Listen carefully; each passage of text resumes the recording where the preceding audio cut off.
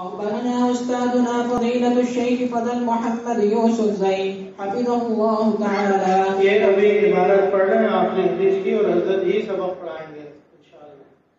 وأستاذنا فضيلة الشيخ سعيد أحمد البكاري أكرمه الله تعالى قال أخبرنا محدث العصر سماحة الشيخ السيد محمد يوسف البنوري عن الشيخ الإمام محمد أنور شاه الكشميري عن الإمام شيخ الهند محمود الحسن الديوبندي عن حجة الإسلام محمد قاسم النانوتري عن الشيخ الشاه عبد الغني المجددي الدهلوي. قال وأخبرنا أستاذنا فضيلة الشيخ محمد زكريا المدني حفظه الله تعالى. قال أخبرنا الشيخ عبد الرؤوف الغزنوي الشيخ نصير أحمد الديوبندي عن شيخ الإسلام سيد حسين أحمد المدني عن الإمام شيخ الهند محمود الحسن الديوبندي عن حجة الإسلام قاسم العلوم والخيرات محمد قاسم النانوتبي عن الشيخ الشاه عبد الغني المجددي الدهلوي قال وأخبرنا أستاذنا فضيلة الشيخ محمد إلياس المدني. أكرمه الله تعالى. قال أخبرنا سماحة الشيخ حبيب الله المظاهري ثم المهاجر المدني. عن الشيخ محمد يونس الجونفوري. شيخ الحديث السابق بجامعة مظاهر علوم سهارنپور. عن ريحانة العصر قطب أوانه وبركة زمانه شيخ الحديث محمد زكريا الكاذبي عن الفقيه الأديب الشيخ محمد يحيى الكاذبي عن فقيه النفس سيد الفقهاء الشيخ رشيد أحمد الكنكوهي عن الشيخ الشاه عبد الغني المجددي الدهلوي عن الشيخ الشهير في الآفاق الشاه محمد إسحاق الدهلوي. الإمام في الحديث والفقه الشاه عبد العزيز الدهلوي عن والده مسند الهند أحمد بن عبد الرحيم المعروف بالشاه ولي الله الدهلوي. قال أخبرنا الشيخ أبو طاهر محمد بن إبراهيم الكردي. قال أخبرنا والد الشيخ إبراهيم الكردي المدني. قال قرأت على الشيخ أحمد القشاشي. قال أخبرنا القدوس أبو المواهب الشنابي قال أخبرنا الشيخ شمس الدين محمد بن أحمد بن محمد الرملي عن الشيخ زين الدين زكريا بن محمد أبي يحيى الأنصاري. قال قرأت على الشيخ الحافظ أبي الفضل شهاب الدين أحمد بن علي بن حجر الأسقلاني عن الشيخ زين الدين إبراهيم بن أحمد التنوخي عن الشيخ أبي العباس أحمد بن أبي طالب الحجار عن الشيخ السراج الحسين بن المبارك الزبيدي عن الشيخ أبي الوقت عبد الأول بن عيسى بن شعيب السجزي الهرمي عن الشيخ أبي الحسن عبد الرحمن بن مظفر الداودي عن الشيخ أبي محمد عبد الله بن محمد السرقسي عن الشيخ أبي عبد الله محمد بن يوسف بن مطر بن صالح بن بشر الفرغري عن مؤلف الجامع الصحيح أمير المؤمنين في الحديث. أبي عبد الله محمد بن إسماعيل بن إبراهيم البخاري رحمه الله تعالى وإياهم أجمعين. ومتعنا بفيوضهم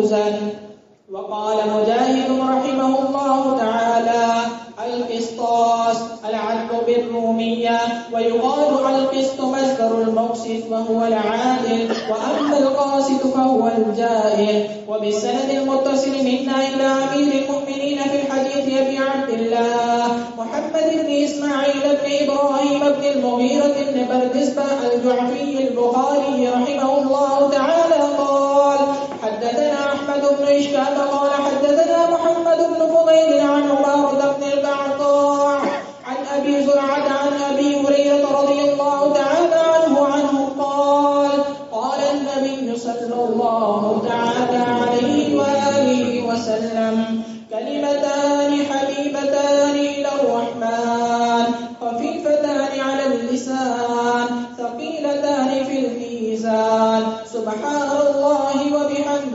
سبحان الله العظيم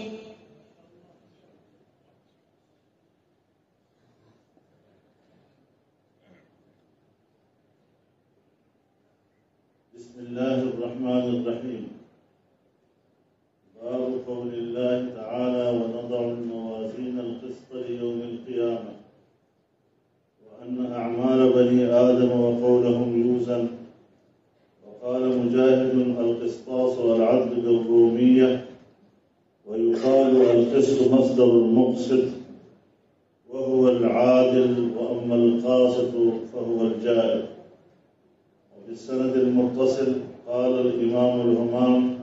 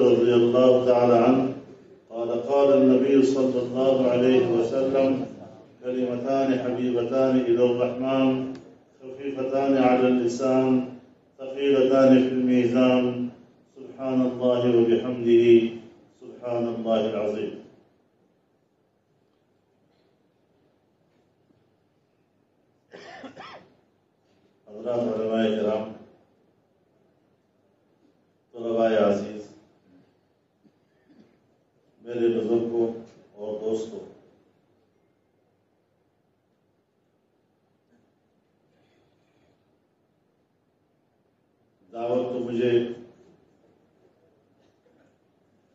گزشتہ کل ہی ملی تھی۔ اور آج کی میری مصروفیات میں بظاہر یہ امکان نظر نہیں آ رہا تھا کہ میں یہاں حاضری دے سکوں گا۔ لیکن اب تیری سعادت سمجھتا ہوں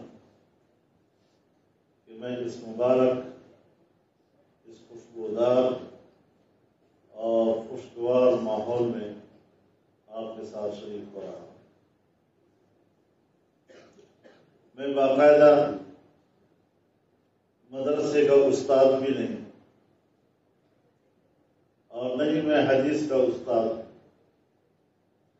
اور جب اچانک آپ کے سامنے کتاب رکھ دی جاتی ہے کہ حدیث پڑھاؤ تو آپ خود اندازہ لگائیں کہ اس کے لیے کتنا مشکل ہو جاتا ہے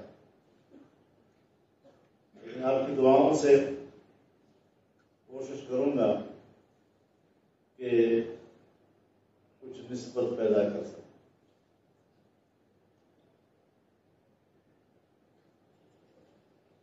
امام بخاری نے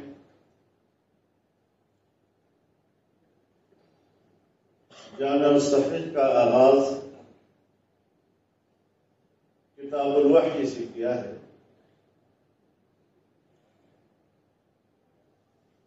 اور پہلا باب باب بد الوحی كيف كان بدء الوحي إلى رسول الله صلى الله عليه وسلم.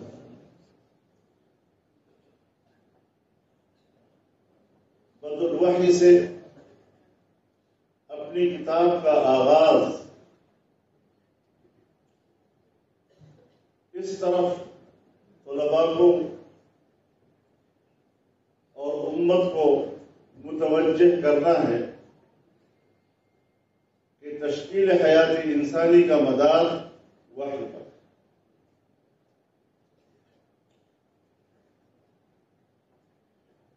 انسان جب پیدا ہوتا ہے، تو اشیاء کا ادراک شعور فطری سے کرتا ہے۔ اسے بھوک کا بھی احساس ہوتا ہے، پیاس کا بھی ہوتا ہے، خوشی کا بھی ہوتا ہے، غم کا بھی ہوتا ہے، خوف کا بھی ہوتا ہے۔ اور وہ اپنے مخصوص انداز کے ساتھ اپنے ماں کو یا ماں باپ کو اپنی طرف متوجہ کرتا ہے۔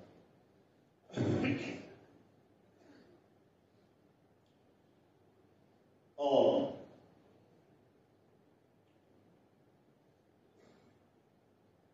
انسان کی اس قوت ادراک اور دوسرے حیوانات کی قوت ادراک میں کوئی فرق نہیں۔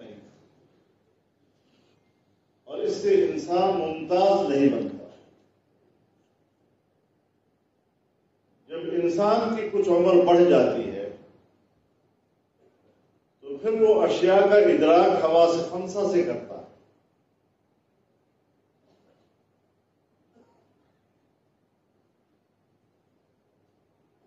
آنکھوں سے دیکھنا، زبان سے چکھنا، ناک سے سونگنا کانوں سے سننا، ہاتھوں سے لمس کرنا، چھونا اور معلوم کرنا کہ یہ کیا ہے۔ لیکن اس میں بھی دوسرے حیوانات سے انسان کو کوئی زیادہ بڑا امتیاز حاصل نہیں۔ انسان کو دوسرے حیوانات سے جو چیز ممتاز کرتی ہے، وہ ہے عقل کی طاقت۔ عقل اتنی عظیم الشان نعمت ہے کہ جو انسان کو ترقیوں کی طرف لے جاتا ہے۔ صرف چیزوں کو سمجھتا نہیں بلکہ اس کا ادراک اس طرح کرتا ہے کہ اس پہ ترقی کرتا جاتا ہے۔ سائنسی ایجادات، نئی تحقیق انکشافات تو عقل بہت بڑا رہنما ہے۔ جو تمام دوسرے حیوانات سے انسان کو ممتاز کر دیتا ہے۔ لیکن یہاں پر انسان کو دو خصوصیتوں سے نوازا گیا ہے۔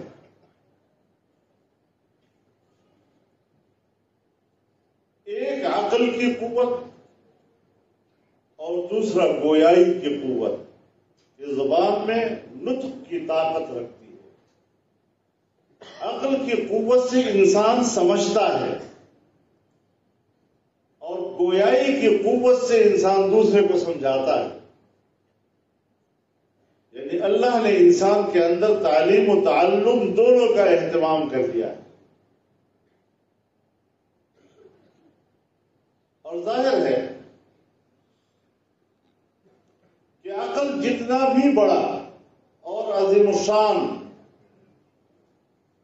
قوت ہے، لیکن ہر چند کی وہ بہت بڑی نعمت ہے، لیکن رہنمائی کے لیے کافی نہیں۔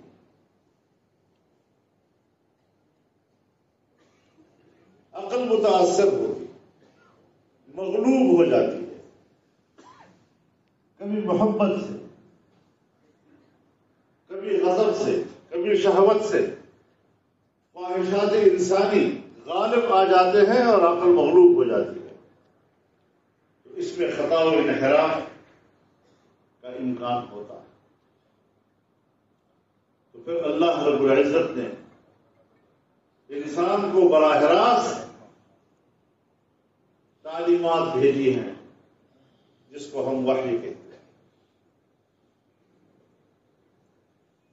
چاہے وہ کتاب اللہ کی صورت میں ہو، چاہے وہ جناب رسول اللہ صلی اللہ علیہ وسلم کی تعلیمات کی صورت میں اور اس میں کسی طرح کے بھی خطا و انحراف کا کوئی گنجائش نہیں۔ ایسی مستحکم رہنمائی اللہ نے انسان کو عطا کی ہے۔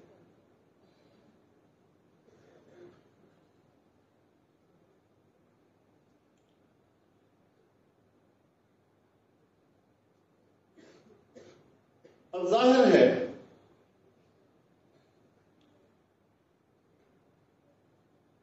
کہ انسان کو پیدا کرنے سے اللہ کو مطلوب یہ ہے کہ انسان اللہ پر ایمان لائے اور اللہ کی عبادت کرے۔ وما خلقت الجن والانس الا ليعبدون۔ میں نے ان سجن کو نہیں پیدا کیا مگر صرف اپنی عبادت کے لیے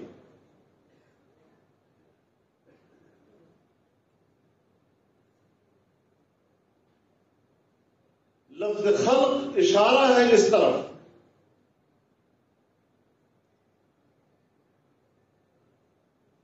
کہ عبدیت انسان کے انسان کو خلقتن عطا کی گئی ہے۔ لیکن چونکہ یہاں پر عبدیت تشریعی ہے، تکوینی نہیں۔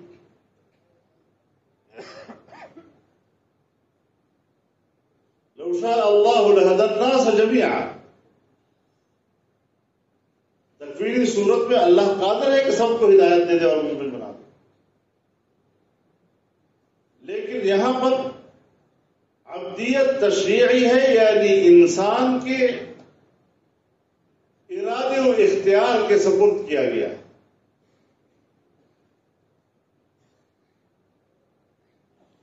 وقل الحق من ربكم۔ ومن شاء فليؤمن۔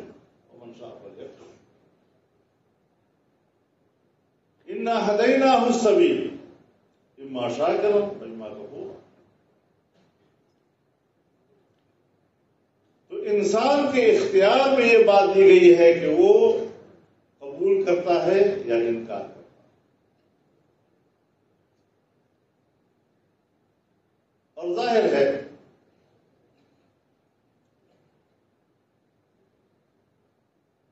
کہ روئے زمین پر اللہ کا خلیفہ وہی بن سکتا ہے جو قبول کرتا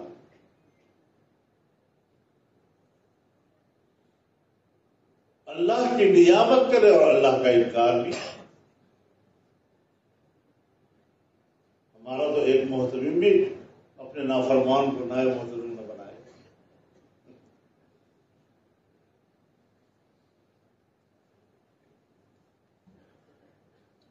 کوئی مسجد کا امام اپنے نافرمان کو مسلح کا نائب نہ بنائے۔ اللہ کی ذات انسان کو مقام خلافت اس وقت عطا کرتا ہے اگر اس کے اندر عبدیت ہو۔ عبدیت یہ بنیادی استعداد ہے۔ مقام خلافت اور مسند خلافت کو سنبھالنے عبدیت کرائٹیریا ہے۔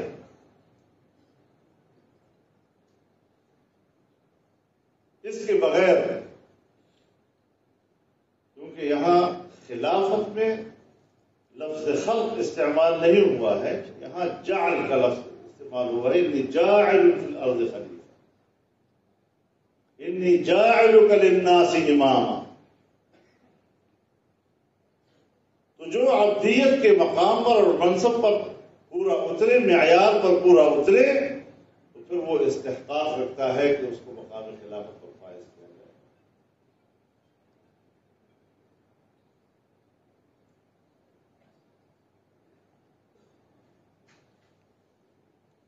ابن حجر عسقلانی کی رائے یہ ہے۔ کتاب الوحی اور بد الوحی سے متعلق جتنے احادیث و روایات ہیں اور ابواب ہیں، یہ بمنظر ہے مقدمہ کے اور حقیقی معنوں میں کتاب کی ابتدا کتاب الایمان سے۔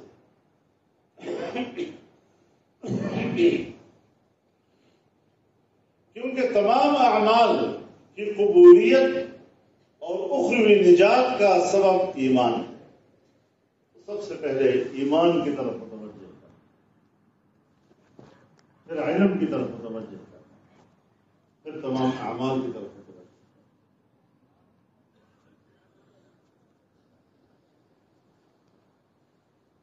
تو کتاب کی ابتدا بھی کتاب الایمان سے اور کتاب کی انتہا بھی کتاب التوحید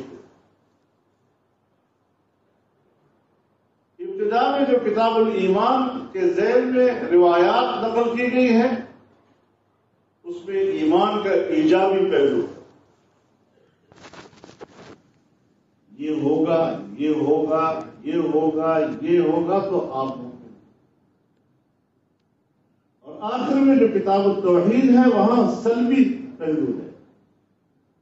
تب مومن ہوں گے جب تم میں یہ نہیں ہوگا، یہ نہیں ہوگا، یہ نہیں ہوگا۔ اسی لیے الرد على الجهمية پھر اقباطہ جو کرتی ہے یہ عقیدہ ایمان کے خلاف ہے، یہ عقیدہ ایمان کے خلاف ہے۔ اس ترتیب کے ساتھ آپ نے یہ کتاب غلط کر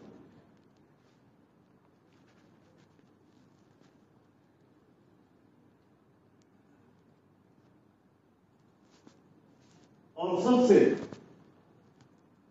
پہلی حدیث باب كيف كان بدء الوحي إلى رسول الله صلى الله عليه وسلم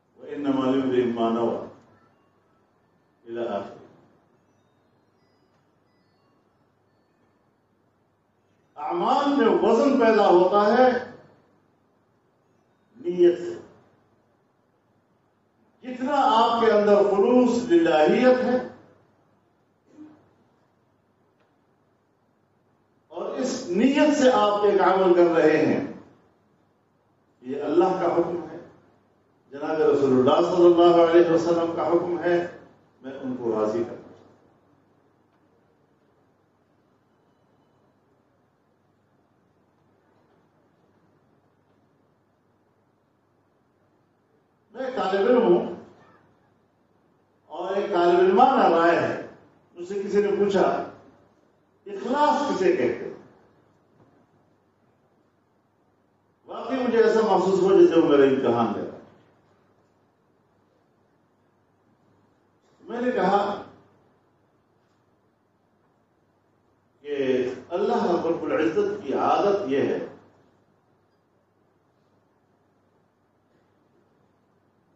کہ کسی بھی صورت کا نام، اللہ اسی صورت کے اندر کسی ایک واقعے کی طرف اشارہ کر کے اس کا نام رکھتا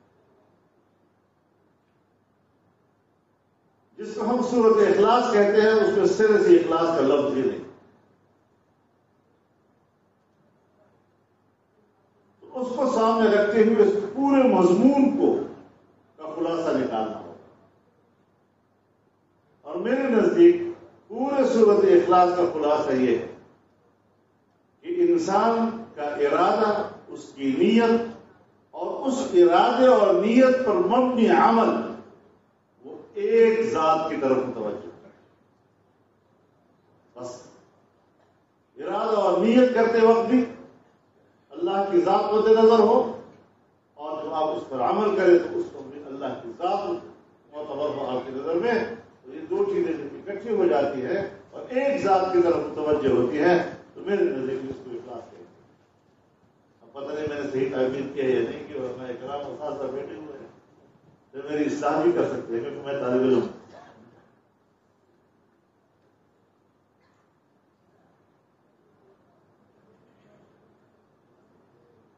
اور آخر میں،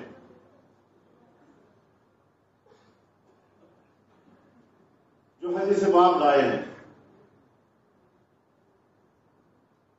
اس میں آپ کو یہ بتانا چاہتے ہیں کہ یہ زندگی جو تم نے گزاری ہے، اتنی بڑی کتاب، یہ سارا دنیا میں لایا ہے عمل۔ دو جلدوں پر جو کتاب ہے، یہ پورے دنیا میں عمل کرنے کا ایک بہت بڑا لایا ہے آپ کو عطا کیا ہے۔ امام بخاری نے اپنے شرائط کی بنیاد پر جس کو صحیح سمجھا، اس کو یاد کر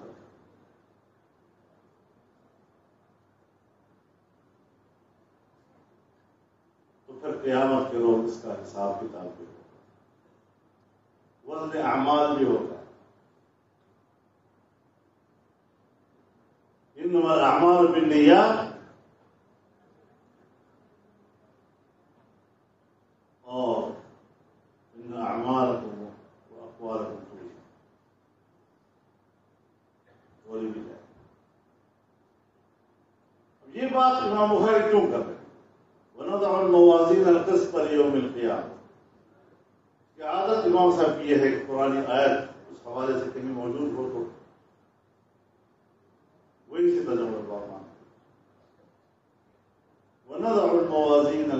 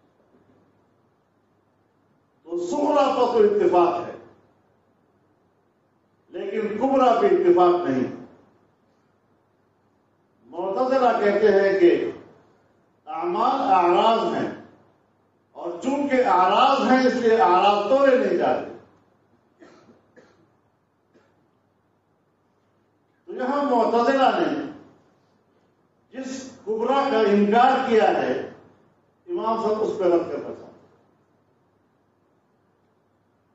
کہ اعمال آراز بھی ہیں اور آراز تولے بھی ہیں۔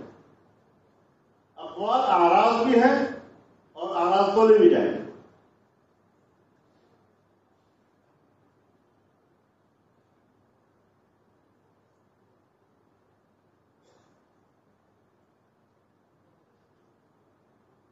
ونضع الموازین القسط۔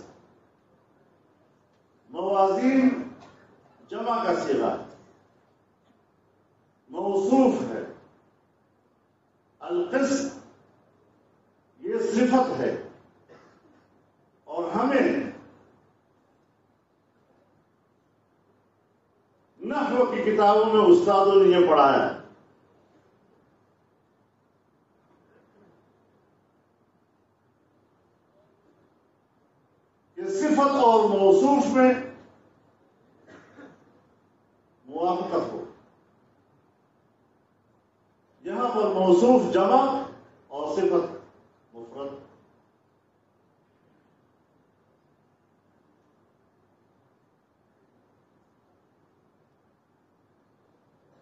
تو یہاں یا تو مضاف محذوف ہے.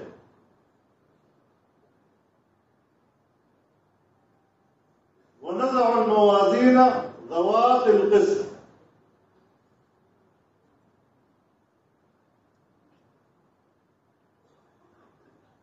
یا چونکہ قسط مصدر ہے اور مصدر میں مفرد تصنیہ اور جمع سب برابر ہوتے ہیں۔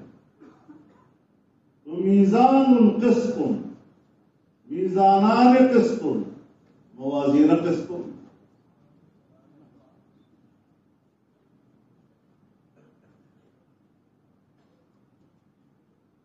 لیوم القیامہ، قیامت کرو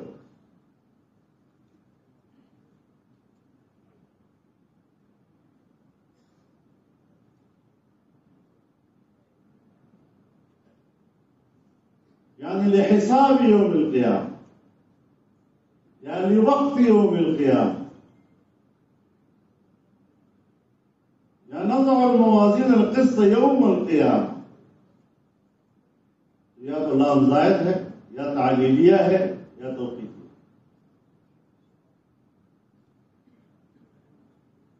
وأن أعمال بني آدم وقولهم يوزن. قال مجاهد القسطاس والعبد بالرومية.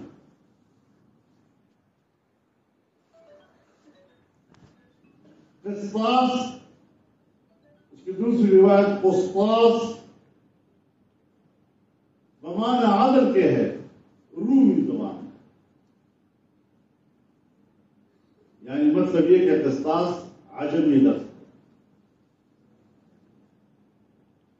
اور اللہ تعالیٰ فرماتے ہیں کہ میں نے تو یہ کتاب عربی میں نازل کی۔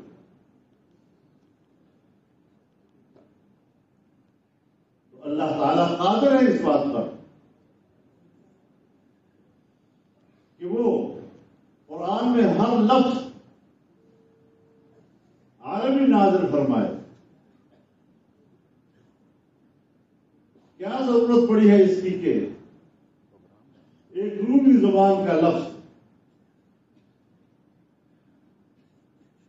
ظاہر ہے کہ یا تو اس میں ترادف ہے عربی میں بھی قسطاس عدل کو کہتے ہیں اور رومی میں قسطاس عدل کو کہتے ہیں، مختلف زبانوں میں ایک ہی لفظ، ایک ہی معنی کے لیے وضع ہوتا ہے۔ ہم بھی کہتے ہیں صابن، پنجابی بھی کہتے ہیں صابن، عربی بھی کہتے ہیں صابن، فارسی والے بھی کہتے ہیں صابن۔ لفظ ایک ہی ہے، مختلف زبانوں والے دعوے دار ہیں کہ ہمارا یا ایک لفظ ہے، لیکن عربی میں منتقل ہو گیا ہے۔ اس کی تعلیم ہو گئی۔ اور یا یہ کہ مقصود قرآن کریم کی فصاحت و بلاغت اور قرآن کریم کا فصاحت و بلاغت کے مقام اعجاز پر فائز ہونا یہ بے اعتبار اسلوب کلام کے۔ یہ قرآن کریم عربی میں نازل ہوا۔ اس کی فصاحت و بلاغت مقام اعجاز پر ہے۔ اور اگر کہیں پر کوئی لفظ عجمی آ گیا، تو چونکہ قرآن کریم کے عالمی اسلوب میں ڈھل گیا لہذا قرآن کی بلاغت فصاحت اور اس کے مقام اعجاز پر کوئی فرق نہیں پڑتا۔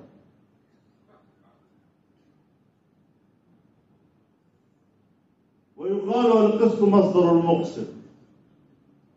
قسط ثلاث مجرد ہے اور مقصد ثلاث مجرد ہے۔ مقصد کا مطلب اقساط ہونا چاہیے تھا۔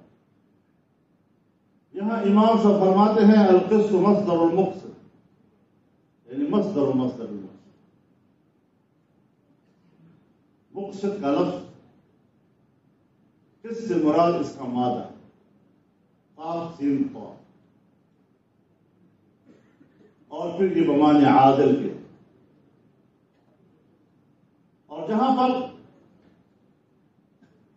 اس کا فائل سلاسی مجرد سے ہی آئے، اس سے قاسط وهو الجاهل واما القاسطون فكانوا لجهنم حطبا.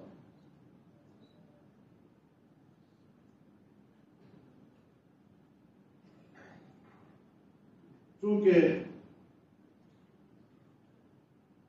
ہمارے اساتذہ ہمیں پڑھاتے ہیں کہ جناب رسول اللہ صلی اللہ علیہ وسلم کا ارشاد ہے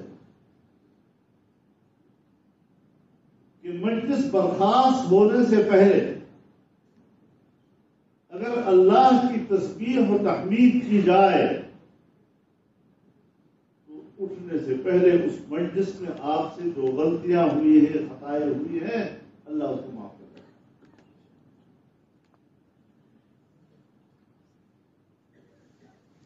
اب یہ جو ہمارے اور آپ کی مجلس ہے، اس کا آغاز سات آٹھ سال پہلے ہوا ہوگا۔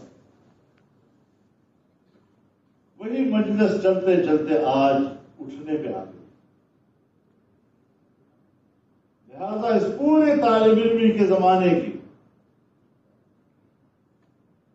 تمام علمی مجالس کی خطائیں، لغزشیں، آخر میں جب ہم کہیں گے سبحان اللہ و بحمدہ، سبحان اللہ العظیم اللہ تعالیٰ ان تمام خطاؤں کو معاف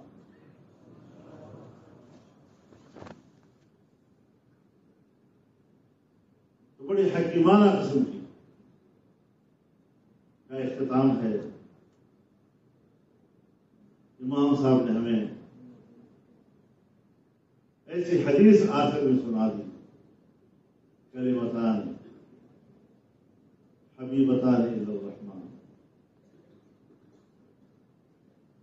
القرآن أي كلامان.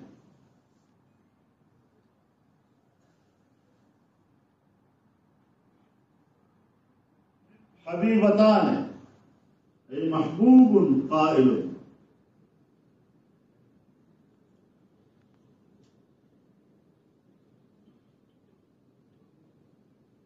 حبيبتان صفة أول.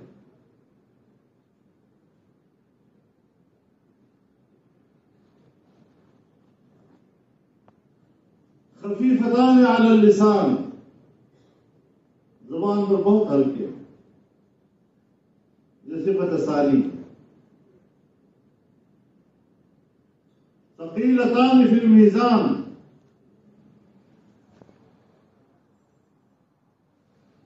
حدیث باب کی مناسبت ترجمہ الباب سے. موصوف اپنے تینوں صفات کے ساتھ مل کر خبر مقدم. سبحان الله وبحمده سبحان الله العظيم مقتضى الموفق